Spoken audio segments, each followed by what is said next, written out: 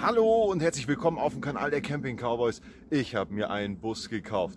Was ich mit diesem Bus vorhabe, welcher Bus das ist und wie ihr den besten Kastenwagen für euch selbst findet, das sage ich euch gleich.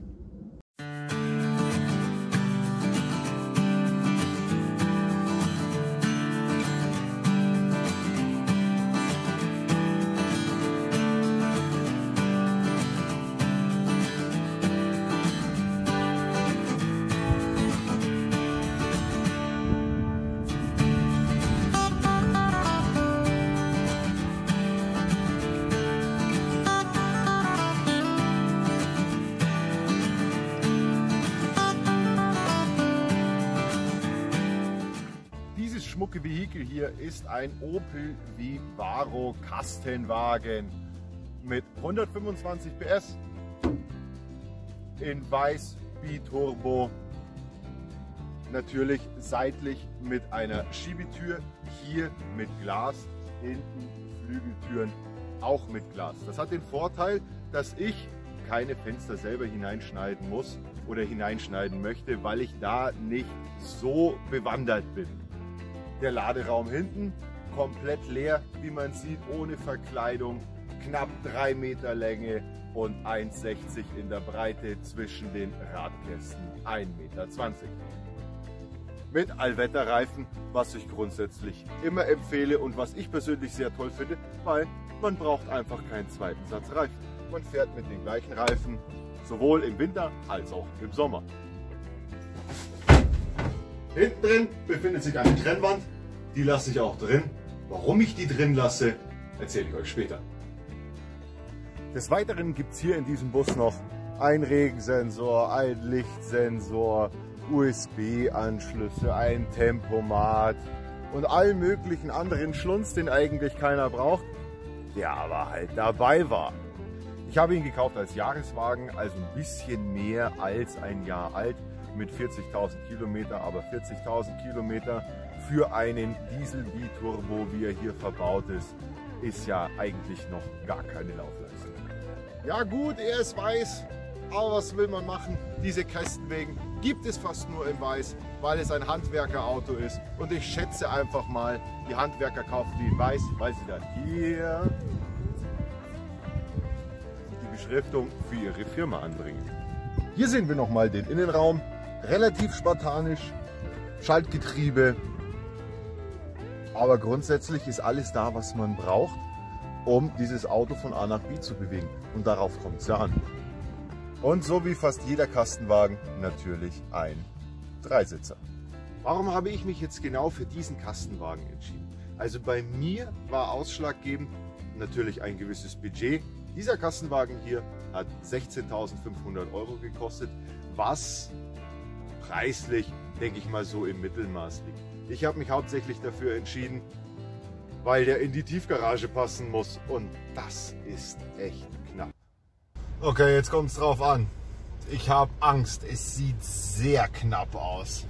Ich bin echt gespannt, ob das hinhaut.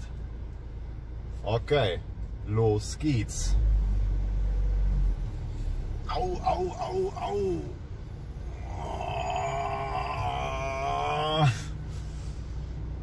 Oh, bitte, tu's nicht. Leckt mich am Arsch, das sind nur Zentimeter, sage ich euch. Hier auch jetzt ganz grob. Seht ihr die Decke? Oh, Kacke, ey. Okay, und jetzt glaube ich kommt das Schlimmste. Jetzt muss ich in meinen Parkplatz rein. Das wird eine Oberkatastrophe.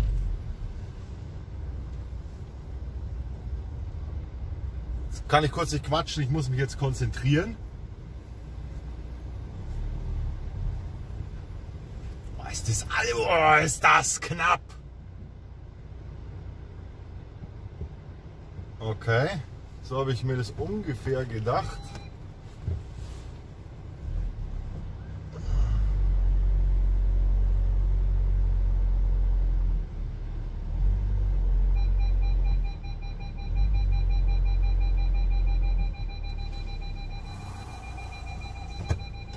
Ich glaube fürs erste Mal, ich glaube, ich bin ganz gut hingekommen. Ich glaube, ich komme da gut rein, glaube ich. Oh Gott, die Spiegel. Das seht ihr da drüben nicht, aber da ist nur wirklich nur noch ein Zentimeter. Wie sieht's da aus? Oh shit, Alter. Oh fuck. Oh, der Spiegel.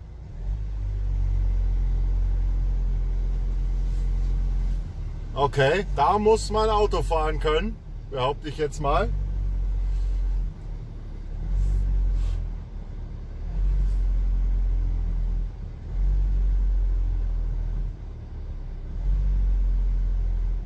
Oh, Freunde der Nacht. Katastrophe. Ich zeige euch das gleich noch von außen. Also das, glaube ich, ist... Also der Parkplatz ist mal ausgefüllt, würde ich sagen. Okay, also wir sehen, es ist wirklich knapp. Wirklich knapp, aber er steht hinten jetzt gar nicht so krass weit raus, wie ich gedacht habe. Und deswegen H1, weil sonst wäre die Nummer nicht gegangen. Aber das ist schon, das ist schon echt knapp. Der Parkplatz ist voll. Aber genau darauf sind ja diese Kastenwegen ausgelegt. Also H1, L2, 1,97 Meter hoch. Die meisten Tiefgaragen, die meisten Parkhäuser 2 Meter hoch. Und seit neuestem auch wenn man an einen See will oder sonst irgendwas, wo man keine Wohnmobile haben will, 2 Meter Schranke oben. Nicht mit mir. Und einer der wenigen Kastenwegen, die ich gefunden habe, die hinten schon von Haus aus komplett leer sind. Was total toll ist zum Ausbauen, weil man muss nicht viel rausschmeißen. Und ich glaube, das ist der Kastenwagen, den ich gefunden habe in diesem Preissegment, der wo wirklich hinten sauber ist. Aber da sage ich später nochmal was dazu. Kann hieran liegen, dass es vielleicht vom Opel-Händler selber gefahren worden ist und gewartet worden ist. Und was habe ich vor mit diesem Kastenwagen? Natürlich werde ich ihn ausbauen zum Camper in guter alter Camping-Cowboy-Manier. Frei nach dem Motto, günstig, aber trotzdem geil. Angefangen habe ich schon mit dem Bus. Ein Bus für 16.500 Euro in der Preislage zu, mit der Ausstattung als Jahreswagen. Ich glaube, da habe ich schon mal gut angefangen mit dem Preis-Leistungs-Verhältnis und das passt. Der ganze Ausbau, ich sage mal, ohne die losen Teile, die ich reinlege, also ohne Matratze, ohne Stromversorgung. Die Stromversorgung wird übrigens auch sehr, sehr spannend. Da könnt ihr euch auch was freuen. Das mache ich ganz anders als die meisten. Soll das Roundabout unter 1000 Euro laufen. Und wie es sich für einen Camping Cowboy gehört, werde ich den Bus in einem gewissen Thema ausbauen und zwar ist das Thema Saloon. Das heißt, hier hinten, wenn ich die Türen aufmache, hier hinten kommt ein Regal hin mit Auszügen und hier steht die Bar. Hinter der Bar ungefähr in diesem Bereich wird ein 2 Meter mal 1,40 Meter Bett stehen. Mit Matratze, mit Lattenrost, mit allem was dazugehört, damit ich hier auch wunderbar übernachten kann.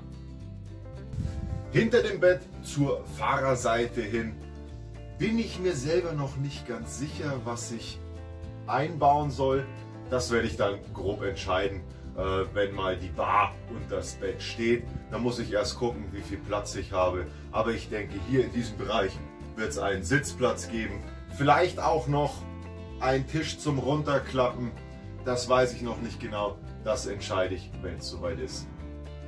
Natürlich wird der Bus komplett gedämmt, verkleidet und es kommt ein wunderschöner Boden rein. So viel zu meinem Bus und zu dem, was ich vorhabe.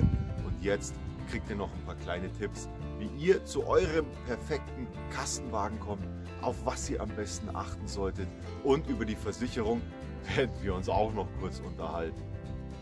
So, als erstes müsst ihr euch natürlich erstmal überlegen, was für einen Bus möchtet ihr kaufen. Die gibt es ja in verschiedenen Größen, in verschiedenen Farben und Formen und Variationen.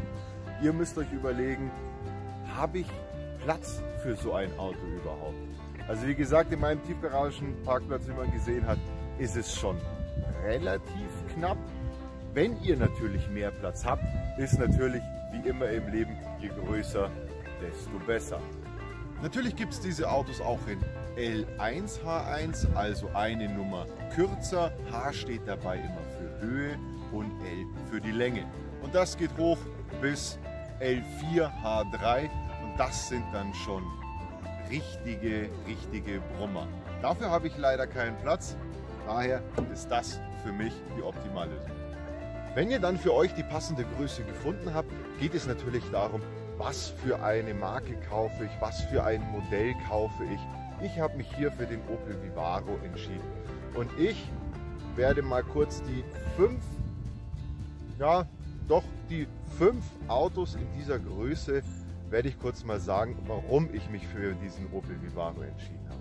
Fangen wir an mit dem VW-Bus, mit dem sogenannten Bulli.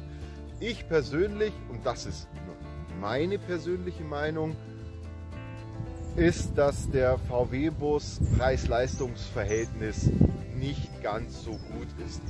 Heißt folgendes, jeder will einen Bulli haben, der ist total im Trend und von daher meines Erachtens für das, was man bekommt, etwas zu teuer. Das andere, was mir beim Bulli nicht so gut gefallen hat, ist, dass er oben schmäler wird. Das heißt, ich habe einen Platzverlust und er ist schwieriger zum Ausbauen. Und für jemanden, der das noch nie gemacht hat, könnte das durchaus schwierig werden. Oder auch für jemanden, der wenig handwerkliche Erfahrung hat. Der zweite in der Runde ist der Ford Transit. Der Ford Transit, muss ich ganz ehrlich sagen, ist ein wunderschönes Auto. Ich bin auch von der Qualität und von der Ausstattungsmöglichkeiten eines Ford Transit begeistert, muss ich ganz ehrlich sagen. Ich war lange überlegen, ob ich einen Ford Transit kaufe, aber ich habe ihn mir dann in Live angeschaut und das ist das gleiche Problem wie beim VW-Bus. Er wird oben schmäler. Daher war das für mich auch keine Option. Ich möchte auch gerade Wände haben, weil ich eventuell an der Seite noch Hängeschränke anbauen möchte, weil ich einfach ein riesen Bett drin stehen haben werde. Und dann gibt es eigentlich auch schon nicht mehr viel. Position 3, 4 und 5 belegen hier der Opel Vivaro, der Renault Traffic und der Fiat Talento.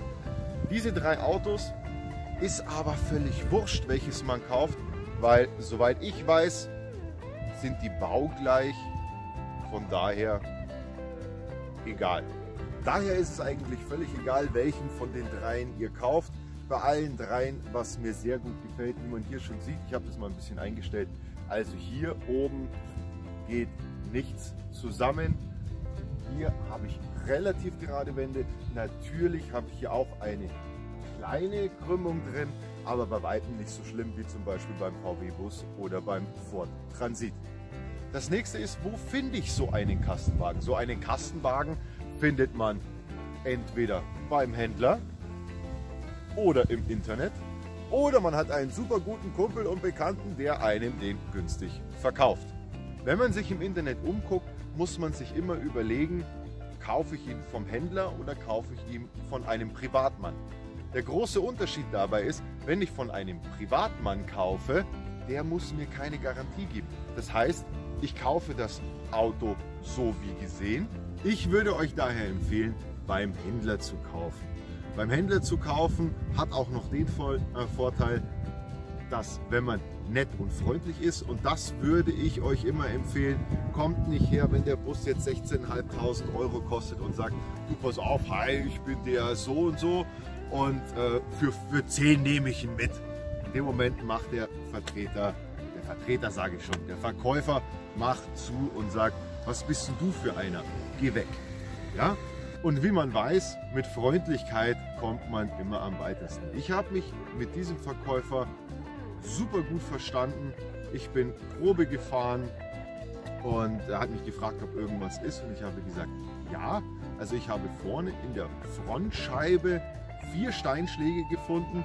Dazu einen Steinschlag genau im Sichtfeld vom Fahrer und somit ist der TÜV hinfällig.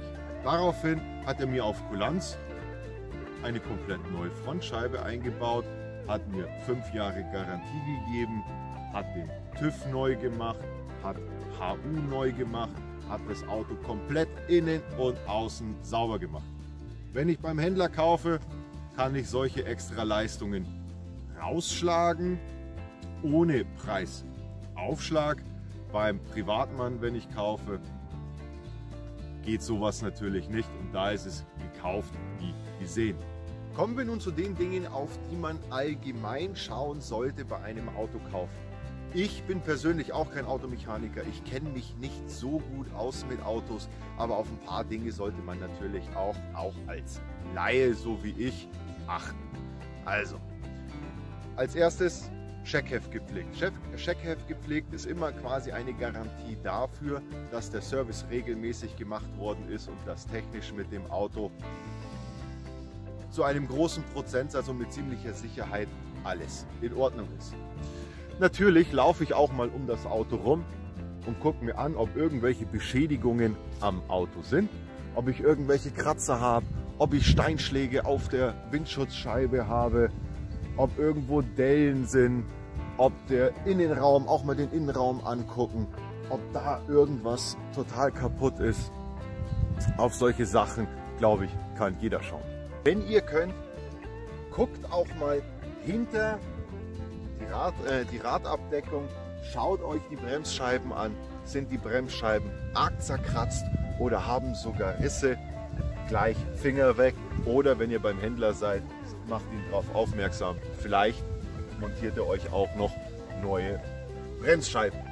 Hier natürlich auch drauf gucken. Hier oben äh, Profil vom Reifen. Ist noch genügend Profil da? Hier gibt es ja diesen typischen Test für das Profil. Und zwar nehmt ihr eine, ein Euro-Stück und ist der äußere Ring, verschwindet der in der Rille vom Reifen, habt ihr noch relativ gute Reifen und könnt noch eine Zeit lang damit fahren. Was auch ein guter Indikator ist für neue Reifen, ist, wenn hier diese Gumminoppen noch größtenteils dran sind, dann sind die Reifen auch relativ neu.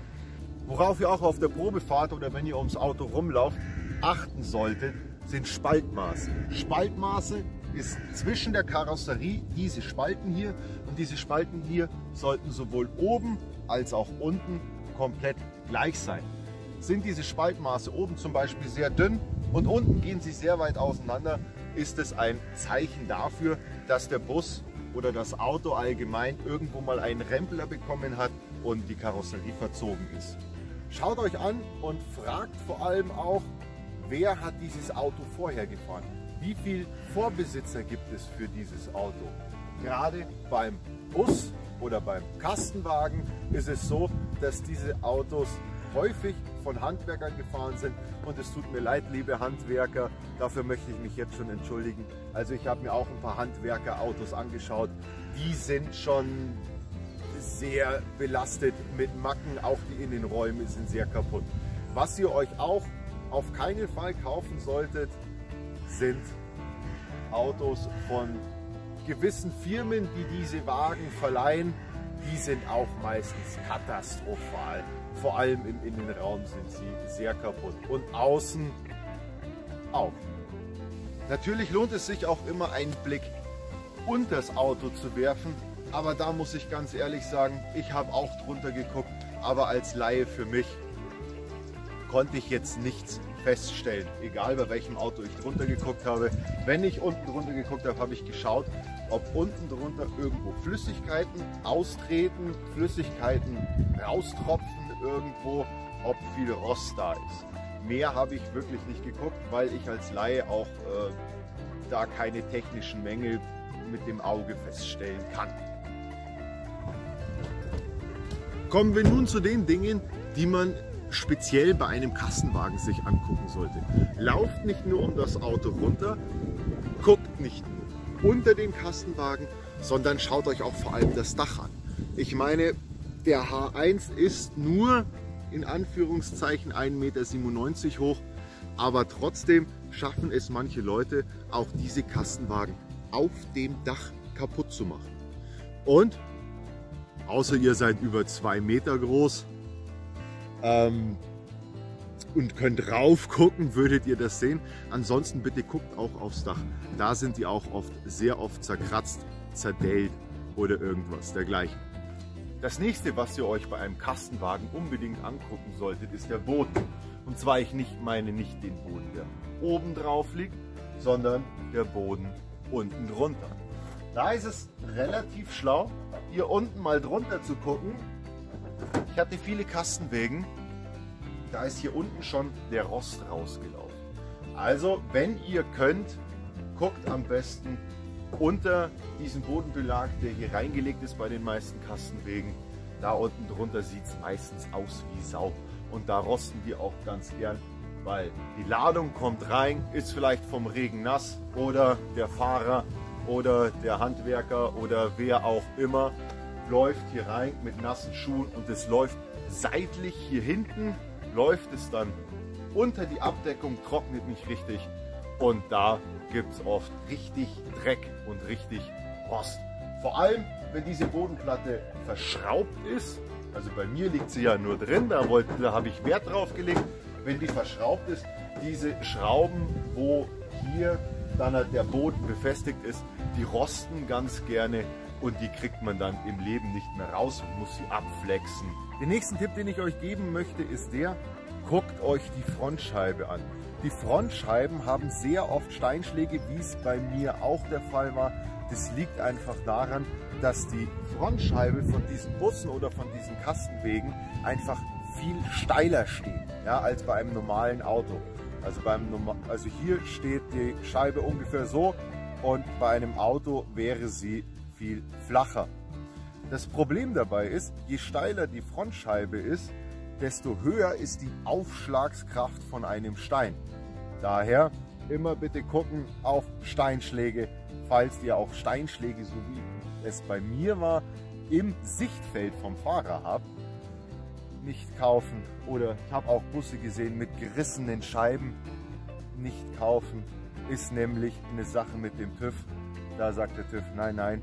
Und so eine Frontscheibe kostet gern mal 800 bis 1000 Euro. Wenn ihr Glück habt, vielleicht auch 700 Euro, weil das sind wirklich Riesenscheiben mit Einbau. Das wird richtig teuer. Das ist aber auch schon eine super schöne Überleitung zum nächsten Thema und zwar Versicherung. Thema Versicherung. Es ist das eine, so ein Auto zu kaufen, das andere ist es zu unterhalten. Und diese Kastenwägen und auch die Busse, aber vor allem die Kastenwegen sind sehr teuer in der Versicherung. Das heißt, mit diesen Kastenwegen werden sehr viele Unfälle gebaut und je mehr Unfälle ich mit einem gewissen Fahrzeugtyp habe als Versicherung, desto teurer stufe ich diesen ein. Ein kleines Beispiel bei mir persönlich.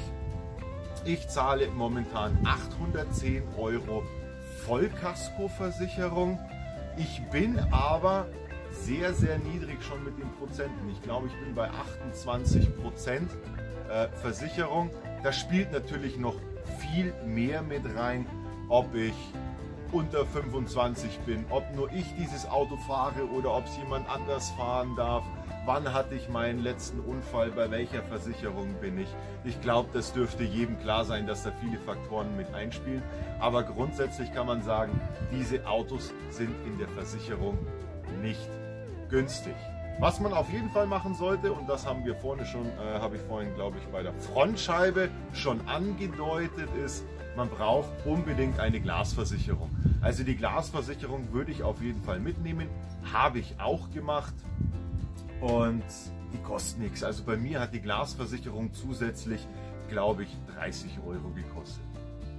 Wenn ihr wie ich vorhabt, einen Kastenwagen zu kaufen, mit abgetrennter Fahrerkabine, seid ihr eigentlich in den meisten Fällen schon in der LKW-Zulassung. Und diese LKW-Zulassung macht die ganze äh, Sache nochmal günstiger. Was ich auch noch dazu sagen will, ich, ich sag's jetzt einfach. Es gibt gewisse Dinge, die am Fahrzeug oft verändert werden, ausgebaut werden, sei es solche Wände, sei es Rücksitzbänke oder sonst irgendwas. Euch muss im Klaren sein, alles, äh, was fest verbaut ist und ihr entfernt, wie zum Beispiel hier bei der Rückwand. Bei meinem Auto ist es so, ich habe mich vorher erkundigt, die, wenn ich entfernen würde, die ist auch mit zur Ladungssicherung verantwortlich oder mit für die Ladungssicherung verantwortlich. Das heißt, wenn ich diese Rückwand einfach entfernen würde und würde das nicht mit dem TÜV absprechen, hätte ich eine Veränderung im Fahrzeug, die dazu führen kann und hier in meinem Fall auch dazu führt, dass meine Betriebserlaubnis für das Fahrzeug erlischt. Eine erloschene Betriebserlaubnis bedeutet automatisch kein Versicherungsschutz. Passt also auf, was ihr ein- und ausbaut, vor allem was ihr ausbaut. Weil, wenn die Betriebserlaubnis erloschen ist, die Sache kann ziemlich hässlich werden. Aber es gibt einen kleinen Lichtblick am Ende des Tunnels und zwar diese LKW-Zulassung und diese teure Versicherung. Da gibt es einen kleinen Kniff, da kann man die umgehen und die nennt sich Wohnmobilzulassung. Wohnmobilzulassung bei mir zum Beispiel, ich habe vorhin gesagt, ich habe 810 Euro Vollkaskoversicherung, was bei meinen Konditionen schon relativ günstig ist. Also ich kenne, mein Kumpel hat auch einen Opel Vivaro, der zahlt 1100 knapp, ist aber auch schon relativ niedrig von den Prozenten. Und wenn ihr noch, noch nicht so lange Auto fahrt oder vielleicht mal kurzzeitig einen Unfall hattet, kann das auch mal leicht 1500 Euro im Jahr Vollkaskoversicherung kosten. Diese Wohnmobilzulassung kriegt man vom TÜV. Darüber werde ich auf äh, nochmal genauer eingehen, die ich mir natürlich holen werde diese Wohnmobilzulassung und was dazu alles nötig ist, erzähle ich euch in einem der folgenden Videos, wenn es dann soweit ist, kurz bevor wir zum TÜV fahren. Denn dann ist es bei mir zum Beispiel so, dass meine Vollkaskoversicherung von 810 Euro auf 396 Euro fällt. Nur durch dieses Umschreiben auf die Wohnmobilzulassung. So, ich bedanke mich recht herzlich fürs Zuschauen. Wenn euch das Video gefallen hat, lasst doch einen Daumen nach oben da. Guckt noch ein bisschen bei uns auf dem Kanal. Wenn euch der Kanal gefällt, abonniert ihn und aktiviert die Glocke, um den ersten Teil vom Busausbau nicht zu verpassen. Da werde ich den Boden dämmen und die Bodenplatte einbringen. In dem Sinne, ich bin der Scar von den Camping Cowboys. Ich wünsche euch noch einen schönen Tag. Bis zum nächsten Mal.